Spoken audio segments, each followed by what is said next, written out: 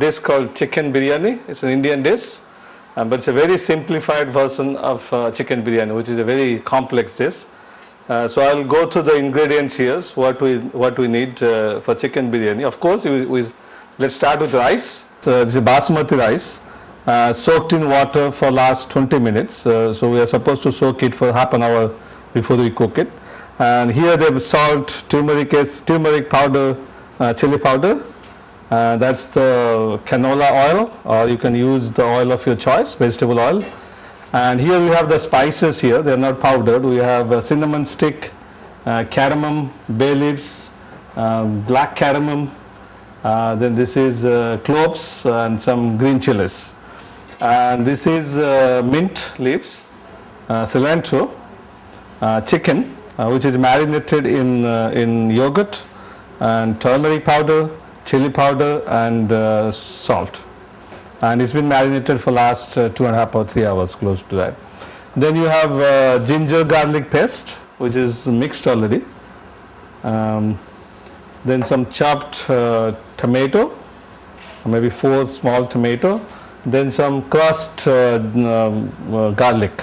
Um, then you have peeled uh, potatoes and onion, uh, which is around four onion. Then the final one is the is the boiled egg, uh, which is already boiled there. Let me start with the the cooking. Uh, put some vegetable oil or the oil of your choice. Uh, switch on the thing. Uh, you wait until the uh, the the bowl is warm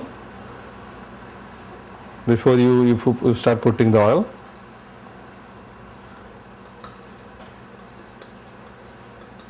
So this pretty much depends on your own choice, preference, how much oil you want to put.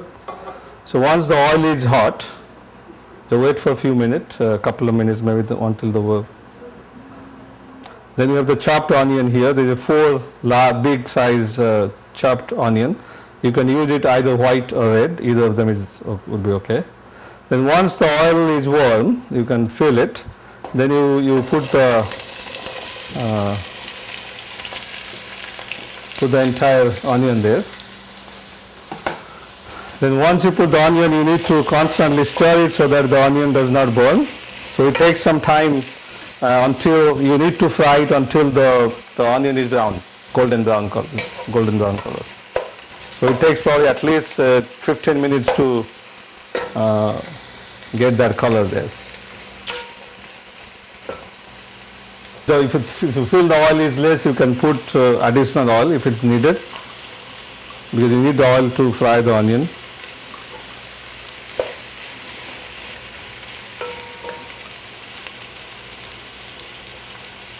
So I try to put as less as possible.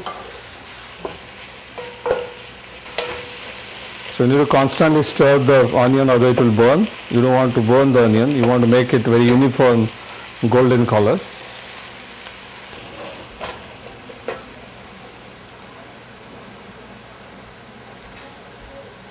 So using the paste and put in the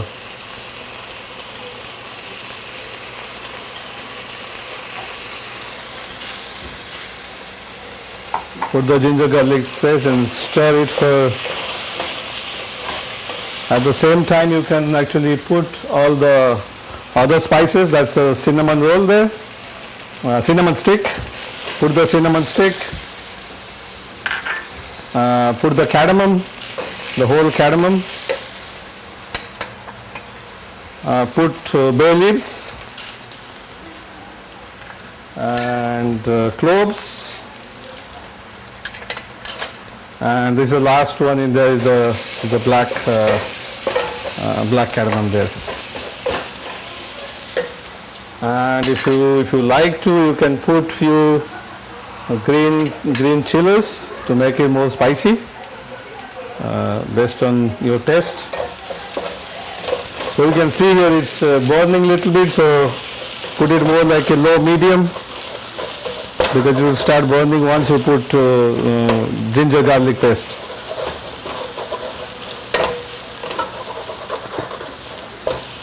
So now you need to constantly stir it because the, the ginger garlic paste will stick to the bottom.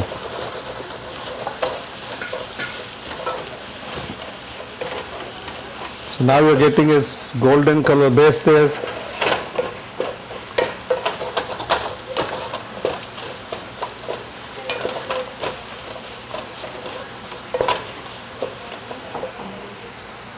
Put it in a very medium heat.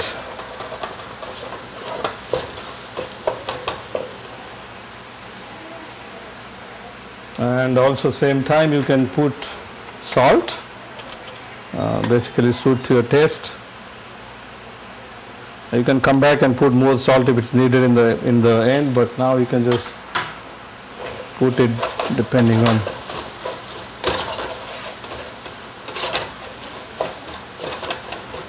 Also, I put pinch of uh, uh, red chili powder.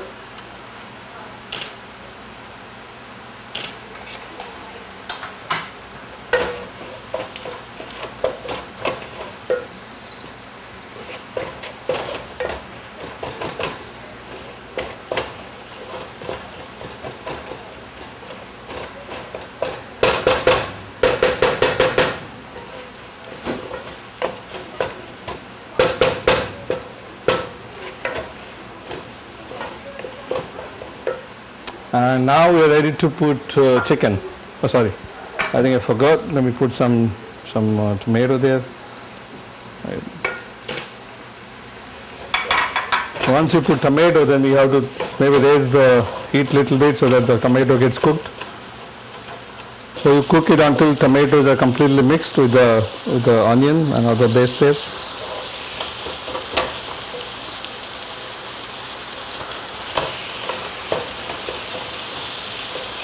So once you're done, you can you can put the marinated chicken. Uh, this chicken has only thighs and uh, and uh, drumsticks uh, marinated with uh, yogurt and turmeric powder, salt. You can put.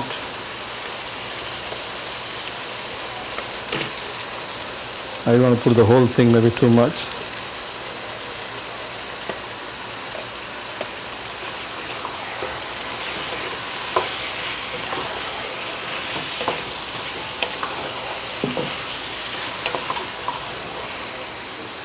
One more piece you can put.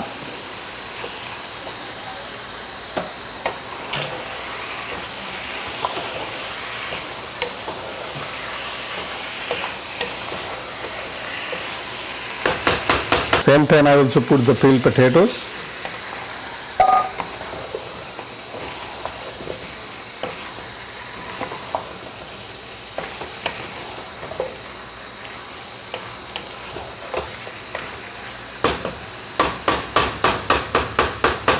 Once you mix it properly, then then cover it for the chicken to cook, but keep coming back and uh, uh, to make sure it doesn't stick in the bottom. Uh, you take you take the thing and put maybe three fourths of water for cooking the rice. Put the put the, oven in the high heat so that the uh, the water will start boiling. Then put salt on the on the water.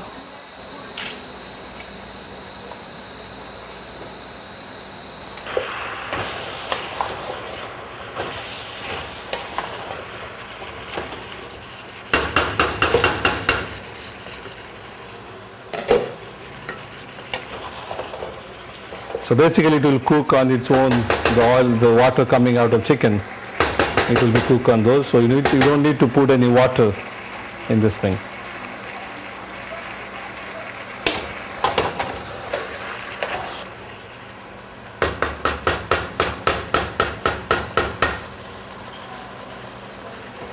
So what I'm doing is uh, boiling the water. So in the boiled water I put the, the, the soaked rice, already rice which has been soaked before.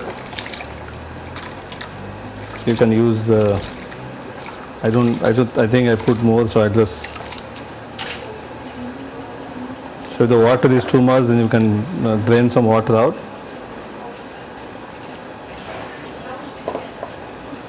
So I put cilantro leaves on the on the chicken curry there.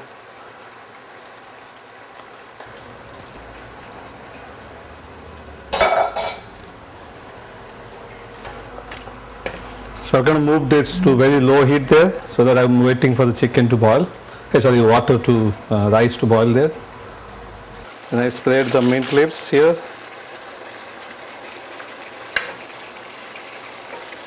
Uh, bring the bring the heat to the low.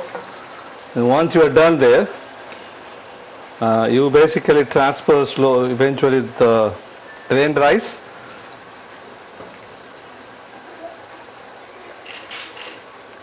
Once you do that, uh, bring it to very low heat there and cover it up. Once you kind of make it a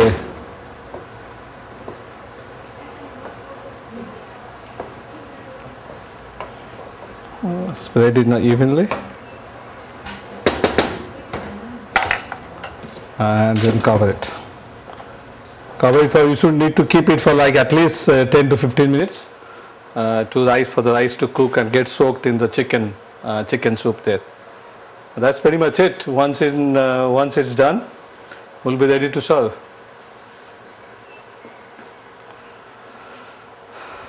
So it will, it's on very very low heat uh, for 10 to 15 minutes. We'll just keep it for the rice to to to fully cooked and get mixed with the uh, with the chicken and the in the rice.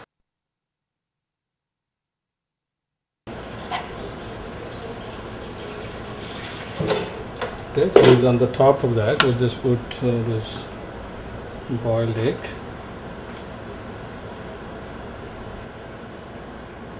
Now it's ready to be served. So let's take it to the, dining table there. Get a thing.